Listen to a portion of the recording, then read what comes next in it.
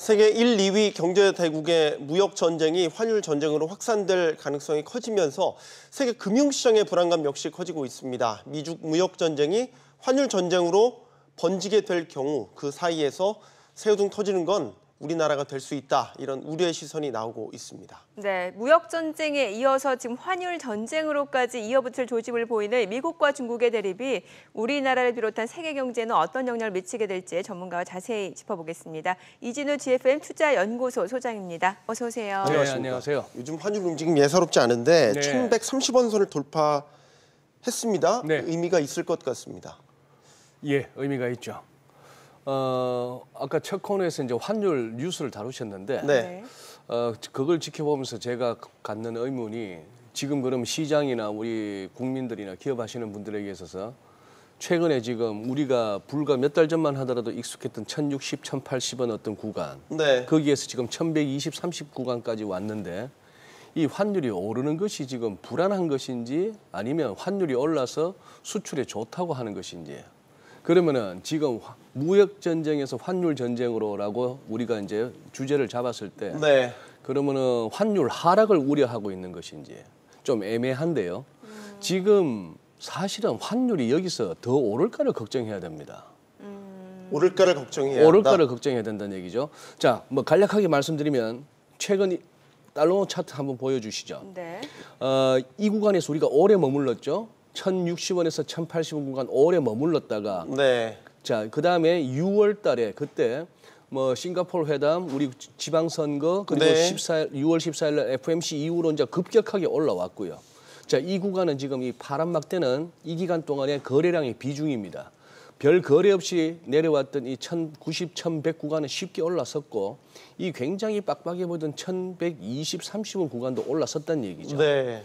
뭐 이런 식으로 올라 올라왔기 때문에 최근 들어서는 오히려 이 환율이 이제 급하게 올라왔던 거. 어제 그러면은 트럼프 대통령의 발언 때문에 원화가 강세로 갔다.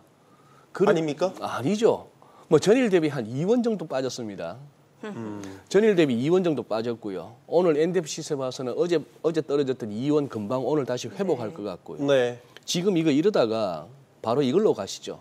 월간 차트 보시면은 지금 크게 우상향하는 붉은색 선 그리고 우하향하는 선 이 안에서 수렴하고 있는 흐름인데 이 구간입니다. 결국 1140, 50, 즉 1150은 또 넘어서면은 그때 가서는 우리가 환율이 올라서 수출 수출 업체들이 좋아요. 이런 얘기를 할 때가 아니고 이러다가 정말 자본 유출이 나요. 외국인들이 떠, 완전히 철수할 수가 있어요. 하는 네. 그런 생각을 할 수가 있는 겁니다. 지금 급하게 올라오는 환율이 여기서 더 급격하게 올라간다면 우리 환율 올라가는 것에 대한 아픈 추억이 있죠. 네. 크게 두 번. 97년 외환위기, 네. 2008년 2008 금융위기 예. 그런 상황이기 때문에 지금은 글로벌 달러가 강세를 가는 와중에 우리 환율이 이 정도 올라오는 거 괜찮았는데 만약에 달러가 트럼프 대통령의 발언에 영향을 받아서 국제 외환 시장에서 외환 시장에서 달러가 약세로 가는데도 불구하고 우리 서울에서는 환율 우리 서울만 환율이 올라가서 원화 약세가 지속된다면은 그때 가서는 무슨 우리 한국 수출 제품의 가격 경쟁력 향상 뭐 이런 얘기할 때가 아니라고 보셔야 됩니다. 핵심은 여기서 환율이 더 급하게 오르는 것을 걱정해야 되는 것이죠. 우리 증시 투자자 여러분들도 마찬가지일 겁니다. 네. 네. 사실 보통 원화 가치가 떨어지게 되면 이제 수출 기업들한테는 호재로 인식이 되는데 네. 지금은 그런 국면이 아니라 자금 유출을 우려해야 될 때다. 네. 이런 말씀을 주셨는데 그러면 지금까지 달러 환율이 이렇게 조금 가파른 기울기로 올라온 배경을 뭐라고 보면 음. 예, 됩니까? 어, 우선은 우리가 6월 달까지만 하더라도 우선 한반도 정세에 대한 기대감이 컸던 것 같아요. 네. 어, 트럼프 대통령과 김정은 위원장의 뭐 회담을 앞두고 뭐 네. 그런 등등이 있었는데 그 이후에 지지부진하고 실질적인 어떤 지- 그게 없고 그때부터는 이제 사실상 국제 외환 시장으로 눈길을 돌립니다. 그래서 그 동안에 상대적으로 견조했던 원화가 이제 급, 급하게 이제 발맞추기를 나갔던 과정이었고 음. 그 이유는 이제 어, 증시의 불안이라든지 자 살펴보면 시, 얘기는 간단합니다. 미국 경기 우리나라 경기보다 좋아요. 그러면 미국 달러가 더 세져야 되는 거죠. 미국 금리 우리나라 금리보다 높아요. 네. 그럼 달러 올라가야 되는 거예요. 뭐 그런 그런 흐름이고 특히나 이제 위안 같은 경우에 우리가 영향을 많이 받을 수밖에 없죠. 경제적으로나 수출 측면에서나 뭐 금융시장 측면에서나 중국 위안화를 쫓아갈 수밖에 없는데 중국은 지금 위안화 약세를 어느 정도 은근히 즐기면서 용인하고 있는 그렇죠. 국면, 예. 뭐 그런 것들이 복합적으로 작용하고 있습니다. 네. 어, 트럼프 대통령이 중국과 유럽연합을 이 환율 조작국이라고 공격하면서부터 이제 환율 전쟁 으로까지 확전될 조짐을 지금 보인 건데 특히 이제 뭐 중국을 상대로는 어, 특히 이제 위안화 얘기였죠. 음, 예. 바위처럼 떨어진다. 뭐 이런 식의 표현들을 하면서 예. 급격하게 이제 뭐 떨어진다라고 얘기를 하는 거죠. 무슨 어, 근거를 가지고 이제 조작하고 있다라는 의심을 하고 있는 것 같은데 네. 뭐 어떤 배경이 여기 있다고 봐야 됩니까? 어, 트럼프 대통령의 원맨쇼죠. 지금 하루도 우리가 시장에 몸담고 있는 분들이 트럼프 대통령을 갖다 입에 올리지 않고는 하루도 넘길 수가 없습니다. 그리고 굉장히 노이즈에 가까워요. 노이즈에 가깝습니다. 네. 자, 그러면 단적인 예로 이렇게 얘기해 볼까요? 뭐 품목에 따라서 아니면 그 관세 때리는 규모에 따라서 어떨 때는 25%, 어떨 때는 시- 앞으로 추가 2천억 달러 10%라고 얘기하는데요. 그러면 미국 사람들 입장에서 수입품이 비싸지겠네요. 그렇죠. 그렇죠. 거기다가 만약에 달러까지 약세로 간다면 트럼프 대통령의 이 말을 말대로 달러가 약세로 간다면 더 비싸지는 겁니다. 네. 그러면 미국 국민들, 미국 소비자들한테서는 원성이 나올 수밖에 없어요. 소비 위축도 그렇죠. 생각을 해봐야 그렇게 될. 수밖에 예. 없는 거죠. 그래서 지금 사실상 시장에서는 어떻게 보면은 이 자연스러운 현상입니다. 관세를 때리겠다? 그러면 시장은 환율을 통해서 미국에다가 관세를 때리고 있어요. 최근 3주 사이에 급격하게 달러 위안 환율도 차트도 한번 띄워주시면 좋겠는데 네. 한 3주 사이에 8% 정도 환율이 올랐습니다. 그러면 이제 10% 정도의 관세는 거의 유야무야 되는 거예요. 네. 그만큼 달러로 환산되는 중국산 제품이 싸지기 때문에 거기다가 10% 관세를 붙이더라도 즉 결국 환율 위안화 약세로 인해서 관세 효과가 무산되는 거죠. 여기다가 트럼프 대통령이 대놓고 뭐 이렇게 어 그걸 합니다만 그렇다고 해서 달러 약세로 가느냐? 그렇게 가지도 않죠. 어제 보시면은 위안화 환율이 이런 식으로 해서 장중 상승 반전하는 모습이라든지 이런 것들이 나오고 있는 것이죠. 어, 트럼프 대통령 입장에서는 지금 너무 전선을 확, 확대하고 있어요. 어, 무슨 뭐 북한 관련해서 진전이 없지 않느냐 워싱턴 포스트가 보도하니까 아마존 때리죠. 뭔가 이렇게 자기와 어떤 섹스 스캔들이 있었던 관련해서 무슨 뭐 녹음 파일이 있네 돈값 굉장히 짜증스럽습니다. 이 와중에 그래도 지지율은 어느 정도 나오고 있는 와중에 뭔가 해야 되겠다 싶으니까 어제 같은 경우는 또 이란 한 번 또 굉장히 트위터에 대문자로 막 해서 이란 까불지 마라 이런 식으로 했죠. 이란 대통령이 조금 트럼프 대통령 자극한 면이 있어요. 이런 식으로 막 나오고 있는데 진정 달러 약세가 지금 미국한테 이루, 이루어올 수 있는가? 그리고 트럼프 대통령이 작년 초에 얘기했던 달러 약세는 말이 됐어요. 왜냐? 2014년 이후부터 한 2년 반 달러가 굉장히 강했고 네. 또 그리고 작년부터는 미국의 경기 지표가 유로 유로 유럽을 비롯해서 해외에 비해서 꺾이기 시작했으니까 달러 약세가 통했는데 지금은 경기도 미국이 좋아요. 금리도 높아요. 그런 가운데에 그다지 작년 한 해 충분히 달러가 약세를 조정을 받았기 때문에 지금 네. 여기서 달러가 더 약세로 가달라 트럼프 대통령의 말이 잘 안 통하죠. CNBC 어제 재밌는 기사 헤드는 헤드라인 하나가 그겁니다. 점점 시장이 트럼프 대통령의 트위터를 무시하기 시작한다. 네. 미국채 수익률도 올랐다면서요. 네. 예. 금리 올리지 말라고 연준을 그렇게 압박하는데 그런데도 불구하고 미국채 수익률 오르고 있다는 얘기죠. 트럼프 대통령도 갈수록 시장에 대해서 말을 아껴야 될 것 같습니다. 점점 말빨이 안 통하게 하고 있어요. 네. 네. 자, 뭐 결과적으로 위안화 가치가 떨어지고 있다라는 점, 뭐 트럼프 대통령한테도 나쁠 건 없다라고 좀 보여지네요. 어, 트럼프 대통령한테 나쁠 건 없는데 이제 이렇게 이제 계속해서 뭔가 어, 중국을 상대로 해서 자기는 계속해서 싸우고 있다는 모습을 미국 유권자들한테 보여주고 싶어 하는 것 같아요. 그렇군요. 네. 우리나라는 어떨까요? 사실 지금 미중 간의 무역 전쟁이 본격화되면서 사실 그 불똥이 우리나라한테 튀는 것이 아니냐라는 우려가 있는 게 워낙 수출 산업 비중이 크다 보니까 또 네. 중간재를 또 중국에 예. 납품을 하고 있는 상황이고요. 예. 환율은 제가 봐서는 지금 남들 가는 만큼 간다면 문제가 없습니다. 즉 국제 외환 시장에서 달러 강세 가는 만큼 우리 환율이 올라가주는 건 문제가 없고 네. 모두에도 말씀드린 바와 같이 우리 원화가 유난히 약세를 보이는 것은 우리 내부적으로 경제에 문제가 있다는 거예요. 지금 증시만 하더라도 우리 증시가 최근 들어서 굉장히 언더퍼폼합니다. 다른 증시들에 비해서. 예. 이거는 지금 우리가 조금 한번 살펴볼 필요가 있는 거예요. 정책 측면에서나 경기 측면에서나 우리 내부적으로 문제가 없는가 하는 부분도 살펴야 되는 그런 상황이죠.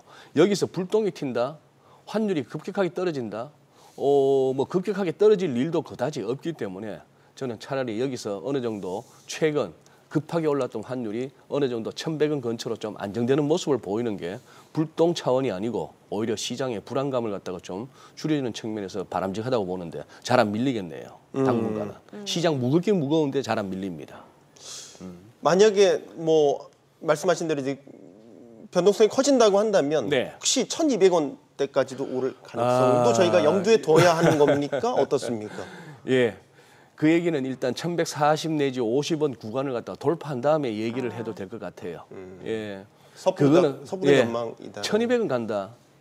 지금 우리 우리 환 우리 환율의 그동안에 굉장히 강해진 원화의 체질 그리고 우리가 97년에 봤던 2000원 갔던 환율 그러다가 900원에서 1600원 갔던 2008년 2009년 네. 그 이후에 우리 환율 굉장히 안정적이었던 이 흐름에 비한다면 은 음. 만약 이게 1200원을 간다면 은 재앙입니다. 우리 한국 경제에. 아, 그런 1200원이라는 얘기를 할 것 같으면은 코스피 2000 못 견딥니다. 굉장히 무서운 얘기예요. 1200원은. 네. 1140, 50 정도에서는 좀 이렇게 위가 좀 무겁다, 막힌다 하는 정도의 우리가 저력은 보여줄 수 있어야 됩니다. 음. 네. 네. 사실 지금 상황이 전반적으로 좀 우려의 시각이 많은 게 사실인 네. 것 같아요. 제 주변만 보더라도 이러다가 그 지난 2008년처럼 금융위기 오는 거 아니냐라는 네. 얘기도 나오고 있고 시장 금융시장 분위기도 심상치가 않은 게 최근에 코스닥이 계속해서 좀 밀리고 네, 있고 네. 환율 변동성은 좀 커지는 것 같고 예. 어떻게 보십니까? 그래요. 어, 환율뿐만이 아니고 트럼프 대통령이 지난 주말을 통해서 우리 계속해서 주목했던 것이 연준을 공개적으로 비난했던 것이죠. 예. 금리 인상 난 마음에 안 들어. 네. 이것도 굉장히 위험한 짓입니다. 이거 이제 연준은 금리 안 올리면 안 되게 됐어요. 이제 이러다가 9월 가서 금리 안 올린다 해버리면은 그동안 우리가 100년 남짓 되는 연준의 역사 가운데 쟤들 무슨 뭐 열심히 고민하고 지표 따지고 무슨 경기 따지고 하더니만 결국 임명권자 대통령 한마디 하니까 그동안에 했던 모든 점도표 forward gui, guidance 다 무위네 쟤들 허당이네 이렇게 되는 거예요. 올려야 되는 상황밖에 없는데 그러니 굉장히 트럼프 대통령도 좌충우돌 너무 위험하게 가는데 우리 코스피 간략하게 이렇게 말씀드릴게요. 2240으로 보시면 되겠습니다. 전저점. 네. 코스피 차트 한번 보시면 2240인데 2240 근처에서 소위 말하는 double bottom 이중 바닥이 나와 준다면은 그게 베스트 시나리오입니다. 말씀하신 대로 지금 코스닥은 더 안 좋죠. 예. 어제 하이닉스 낙폭은 진짜 쇼킹했습니다. 지금 보시다시피 코스피는 251선 1, 1년 평균치 1년 평균치에 해당하는 251선 무너지고 이렇게 왔고 코스닥은 어제부로 251선이 깨졌습니다. 어제 유난히 짱대 연봉이 컸죠. 네. 거래량 안 받쳐주죠. 그런 상황에서 위클리로 가- 봤을 때는 이런 식으로 기술적으로 봤을 때는 이 후행 스팬이 주간 차트 정도에서 이렇게 가격대 아래로 내려왔다는 것은 이 장은 이미 약세장으로 진입했다는 얘기죠. 그렇다면은 아까 2000 우리가 2240을 코스피의 어떤 그걸로 봤다면은 여기서 절반을 왔습니다. 그동안 코스피 상승의 절 코스닥 상승의 절반까지 어제 도달해 버렸는데 한 710 근처 여기도 지켜지지 않는다면은 힘들다는 국면이죠. 이 두 개의 레벨 지금 713 코스닥 이렇게 기술적으로 짚어지는데 710대 이거 갈라면은 2, 3일 만에도 갈 수 있는 레벨이에요. 그러니 지금 이 부분을 갖다 이제 지켜줘야 됩니다. 조금 어, 저로서는 놀라운 것은 한 20 몇 년 남짓 차트를 봐온 나중에 이번 코스닥 차트 같은 경우는 굉장히 섬찟합니다. 아주 기술적으로 그림이 안 좋아요. 그림이 안 좋고 한 가지 분명한 거는 돈 잘 버는 기술이 있어야 됩니다. 주가가 오르려면은. 미국의 주식은 어느 정도 그 버블의 논란은 있지만 쟤들은 그래도 실적이 받쳐줘요. 네. 돈 벌 수 있는 회사들입니다. 우리 코스피 코스닥 할 것 없이 진짜 돈을 벌고 있는 회사들의 주가인가 하는 부분. 우리 계속해서 valuation 얘기하고 우리 저평가 얘기를 하고 있습니다만 한번 까보자는 얘기죠. 정말 돈 벌고 있는 회사들인가? 우리 소위 말하는 테마주 무슨 뭐 이런 것들 차트 한번 보세요. 전부 원위치입니다. 네. 그 중에 한 100명, 100명 벌었으면 만 명은 잃었을걸요. 그런 종목들. 예. 그래서 지금 조금 우리가 막연하게 접근하기에는 지금 시장 상황이 너무 어렵습니다. 어, 사실상 지난 2월 달 급락 이후에 한 2, 3개, 2개월 남짓 이렇게 조정이 있었습니다만 그때 4월 달에 제가 4월 20일 날 출연했더만요. 네. 그때 드렸던 말씀이 이거는 에피타이즈다 하는 아, 뭐 예. 그런 얘기들도 했었고요. 지금 이것은 어, 조금 이렇게 어, 미국은 예외일 수가 있습니다. 네네. 미국은 예외일 수가 있습니다만 지금 이런 식의 달러 강세 그리고 금리가 올라가는 국면이라고 한다면은 우리를 포함한 이머징들은 괴로울 수밖에 없는 국면이고요. 네. 알겠습니다. 자 오늘 이진우 소장이었습니다. 오늘 여기까지 듣겠습니다. 고맙습니다. 네, 감사합니다. 잘 들었습니다.